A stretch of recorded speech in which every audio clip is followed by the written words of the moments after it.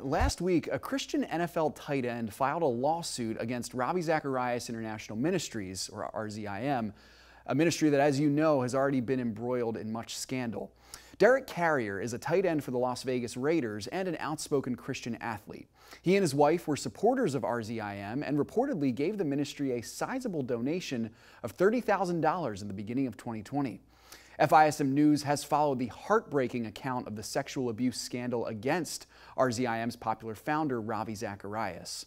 Last week, the NFL tight end filed a lawsuit against RZIM for misusing donor funds. He claims that RZIM misrepresented the true nature of their ministry and the use of funds donated in support of their stated purpose. According to Christianity Today, Derek Carrier and his wife are asking for compensatory, consequential, and punitive damages. It is murky territory when Christians take other Christians to court, but they seem to do so for a noble reason.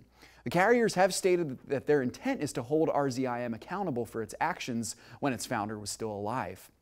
Perhaps their actions are commendable, and certainly the ministry is at fault for failing to hold its founder to account. But either way, this situation must be covered in prayer. Go to fism.tv/news for more.